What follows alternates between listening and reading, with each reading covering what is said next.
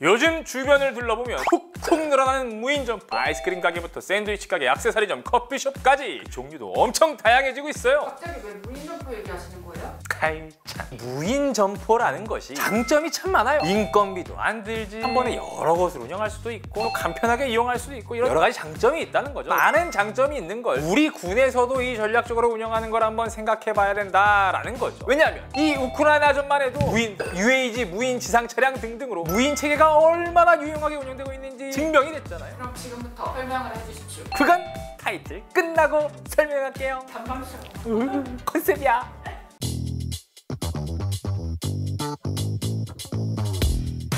지난 22일 정부의 국방 분야 업무 보고 자료에 따르면 AI 로봇 드론 전투 시대를 앞당기기 위해 AI 기반 육해공 드론 로봇을 비롯한 유무인 복합 전투 체계를 단계적으로 구축하고 육해공 군별 시범 부대를 운용할 계획이라고 밝혔습니다. 무인 체계가 장병 생존성을 보장할 수 있는 최적의 대안인 만큼 무인 체계를 집중 육성해서 인구 절벽에도 대처하고 전투력도 유지 혹은 상승시키겠다는 얘기인 거죠. 그렇다면 최신 과학 기술을 접목한 과학 기술 강군으로 거듭날 수 있는 국방 혁신 4.0의 핵심 기술인 이 무인 체계 어떤 것들이 있는지 알아보겠습니다. 그럼 먼저 공군부터 알아볼까요? 지난 12일이었죠. 국방과학연구소의 주관으로 진행되는 저피탄 무인 편대기 개발 과제에서 대한항공이 우선협상 대상자에 선정됐다는 보도가 있었죠. 여기서 말하는 저피탄 무인 편대기 아 그거 하시는 분들도 계시겠지만 지난해 10월이었죠. 그때 공개된 KF-21 비행 CG 영상에 나온 바로 그거 가오리 X로 추정되는데요. 일단 무인 스텔스기라는 게 인공지능을 활용해서 적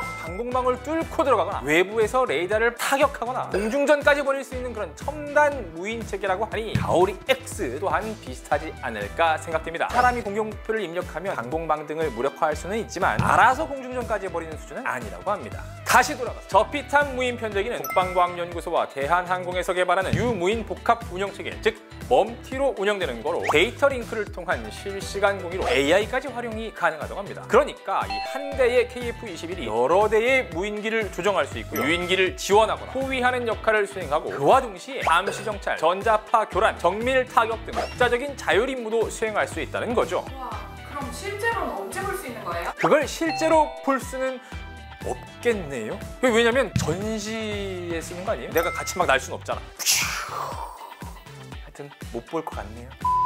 다음은 해군입니다. 우리나라는 이미 2019년 복합 임무 수상정 M서처를 개발했습니다. 그리고 8m급 연안 감시 정찰용 무인 수상정 해검을 개발하는 데 성공했죠. 그 뒤로도 한층 성능 개선된 해검 2와 해검 3를 연달아 개발했는데요. 이 말은 이미 해양 무인 체계의 핵심은 개발되어 발전되고 있는 상황이라는 겁니다. 그런데 여기서 끝이 아닙니다. 2020년엔 해군의 무인 기뢰 처리기 2가 전력화 완료됐다고 합니다. 이름 그대로 무인 기뢰 처리기 2는 기뢰 제거를 막는 수중 무인 체계인데요. 앞부분에 장착된 자체 음탐기로 수중 물체를 탐색한 뒤 시각적으로 식별이 가능한 거리까지 접근을 해서 TV 카메라로 기뢰 여부를 확인하고요. 해저 기뢰일 경우에는 제거용 폭약을 설치하고 폭발시켜서 기뢰를 처리한다고 하는데요. 그리고 수중 자율 기뢰 탐색체는요. 수중에서 자율적으로 움직이면서 기뢰를 탐색하는 체계인데 무선 원격 조종은 물론 자율 주행도 가능하고요. 소나, 수중 광학 카메라, 초음파 발신기, 핑어 등을 장착해서 장애물 회피와 자동 복귀 기능을 갖추고 있다고 합니다. 이런 체계들은 앞으로 기뢰 탐색뿐 아니라 수중 감시 정찰 전력으로도 운영이 가능한 국내 최초의 수중 자율 무인 체계로서 체계 개발을 추진하고 있다고 합니다. 마지막으로 육군을 보시죠. 지난 10일 방사청 주관으로 방위산업기술지원센터가 대테러 작전용 가족 보행 로봇 신속 연구 개발 사업을 현대로템과 최초로 협약을 맺었는데요. 요즘 핫하디 핫한 이 다족 보행 로봇, 이 다족이니까 당연히 아지, 험로, 뭐 장애물 구간 이런 데서 자유롭게 기동이 가능하겠죠. 또 원격으로 조종도 가능하다고 하니 얼마나 편리하게요.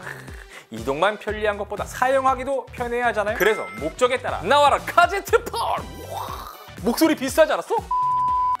또 원격 무장 통제 장치, 섬광 폭음탄 및 최루가스 살포기, 체온 측정 장치 등 다양한 임무 장비를 탈부착할 수 있어 다용도로 활용이 가능한 것이 특징이랍니다. 이런 다양한 임무에도 활용할 수 있지만 중요한 건 위험한 작전에 사람을 대신해 투입할 수 있어서 우리 군의 생존성을 높이는 데 큰 몫을 할 것으로 기대가 됩니다. 아 그리고 이 다족 보행 로봇 이외에 다목적 무인 차량도 현대로템에서 현재 개발하고 있는데 올 1월에 시범 운영을 마쳤다고 합니다. 이 무인 차량은요 경로를 스스로 이동하는 자율주행이 가능한데 배터리를 사용하기 때문에 소음이 적어서 군 작전에 적합하다는 평가를 받고 있다고 합니다. 또 주야간 4km까지 탐지가 가능한 카메라가 장착되어 있어서 GOP나 DMZ, 해안 지역과 같이 광범위한 경계 지역의 정찰 임무도 수행할 수 있다고 하는데요. 얼른 안정화가 돼서 전력화가 되면 좋겠다는 생각이 듭니다. 그 외에도 육군 무인 체계로는 무인 수색 차량, 정찰 로봇, 폭발물 탐지 로봇 등도 다양한 임무에서 활용될 수 있는 것들이 개발되고 있답니다. 자, 이제 필요한 건 얼마나 잘 운용 할 수 있느냐는 상황인 것 같지 않나요? 그래서 이 육군은 아미타이거 여단인 육군 25사단 70여단에서 무인 전투 차량, 드론 등을 통합 운영하면서 우리 군의 생존성을 검증하고 해군은요 제5전단에서 수해함과 수중 무인 기뢰 제거기 등 복합 기뢰 제거 작전 수행 능력을 확인하고 또 공군에서는 20전투 비행단에서 저피탐 스텔스형 무인 편대기 운용 가능성을 확인할 예정이라고 합니다.